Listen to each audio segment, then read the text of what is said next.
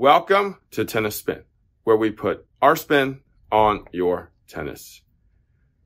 Viewer question today about spin open string patterns. What if you created your own open string pattern? Will it give you more spin? You'll have to stay tuned.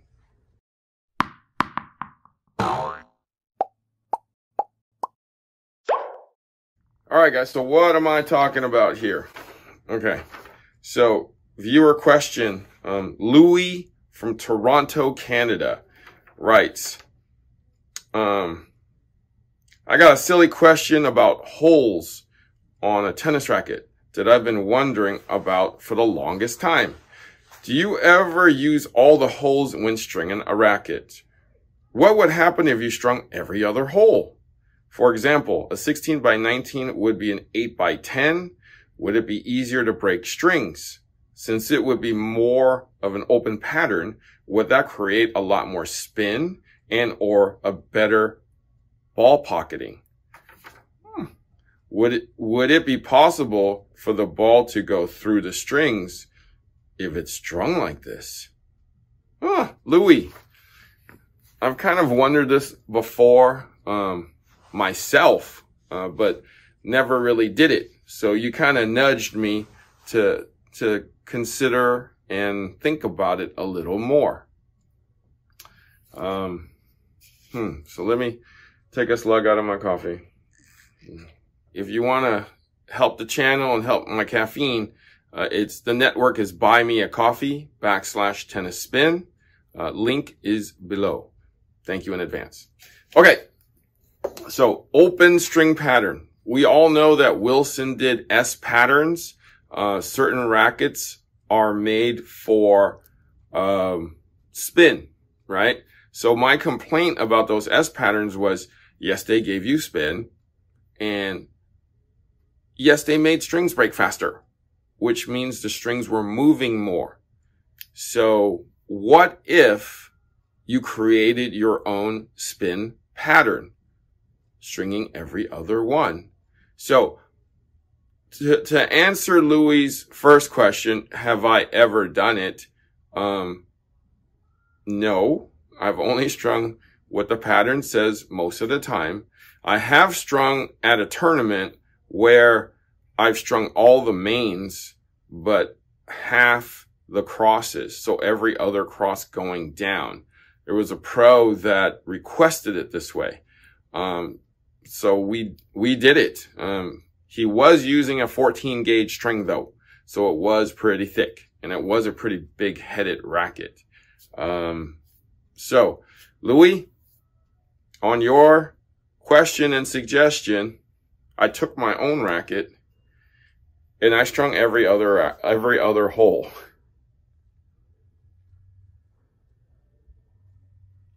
Doesn't that look weird? I was like, Ugh. So here's the thing.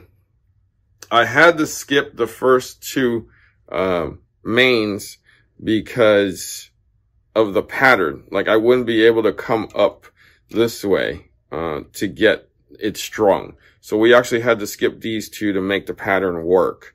Uh, if you're a stringer, you know what I'm talking about. Um, so can a ball fit through here? Probably not. I mean, unless unless I break the string by hitting it so hard. Uh, so, um, Confidential 16L. Um, I increased the poundage to 55 because with less strings, there's probably going to be more springiness and bounce.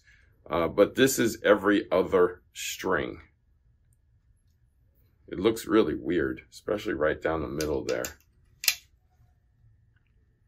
But, I mean, let's see what happens and let's see if uh, we can handle this kind of spin and power. All right, we'll see you on the court. I would like to welcome Coach Chris back to the Tennis family. He literally just got off the plane. He looks jet lagged as usual. Doesn't matter if he got off a plane or not. Anyway, he always looking like that.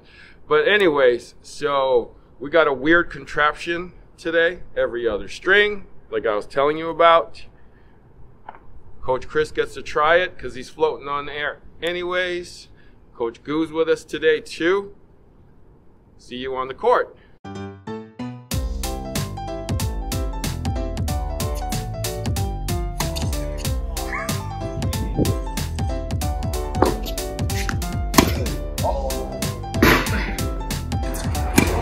Oh!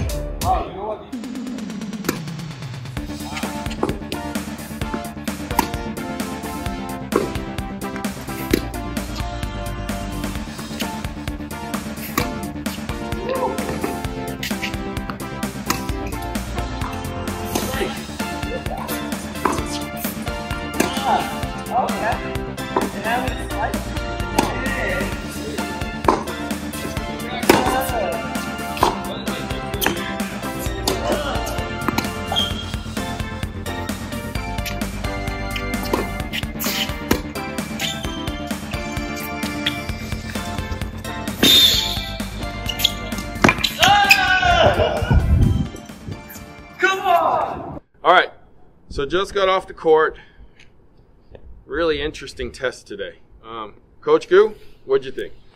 Uh, it was definitely a lot harder to pocket a lot of balls. Um, it just felt like it slipped out of my, it slipped out of the racket so much. Um, slicing though was actually pretty fun, um, but hitting topspin it was really tough to cover over the ball since uh, I don't know what kind, what it feels like. It just feels like it holds and it slips right off after you make contact.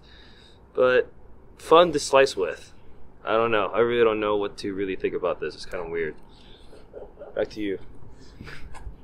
Coach Gu hit Coach Gu hit the fence a lot of times, I more than I've ever seen before. I wanted to kill you. So I really wanted to kill you. my man's half asleep.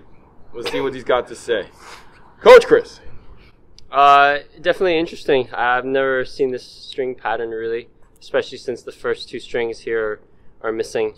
Uh, I thought those would probably be the most like secure that you would have in order to like hit the ball over. But um, definitely this like string pattern. Uh, I felt like it was a little bit tough to control.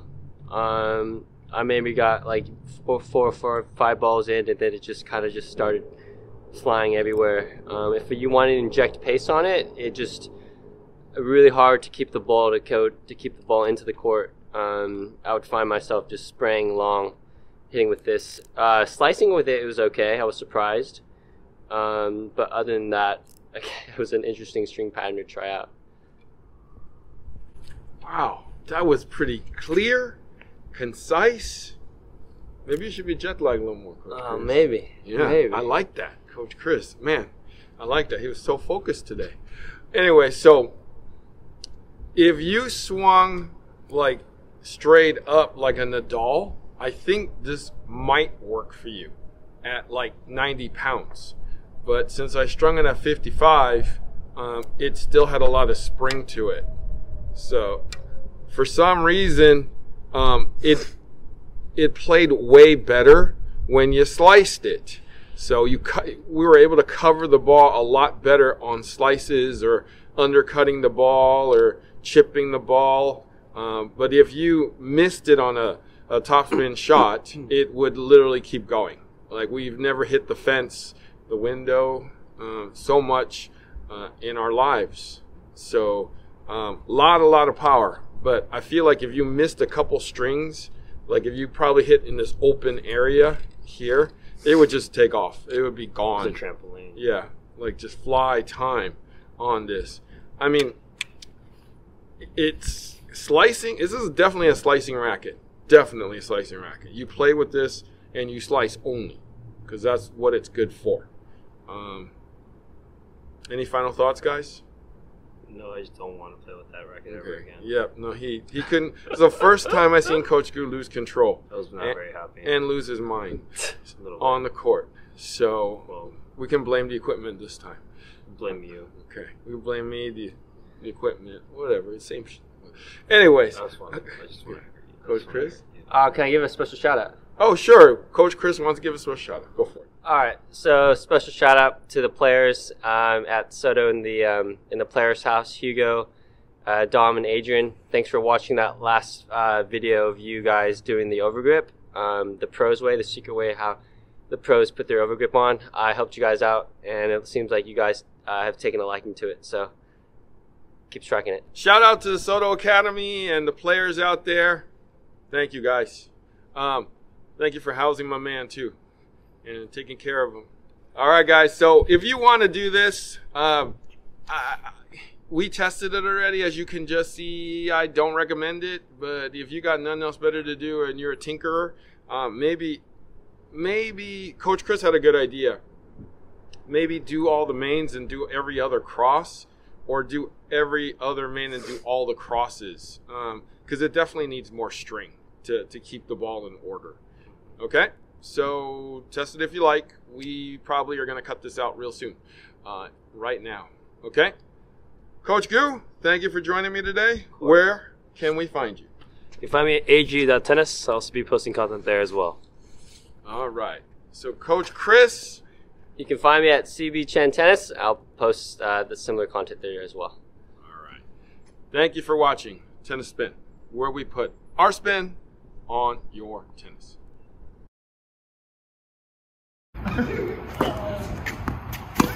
yeah,